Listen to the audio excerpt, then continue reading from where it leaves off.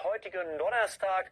Und das Tief Gregor, das nähert sich aktuell hier Westdeutschland und das bringt jetzt zum Nachmittag zum Teil kräftigen Regen ins Saarland, nach Rheinland-Pfalz, nach Baden-Württemberg, nach Hessen und auch nach Nordrhein-Westfalen.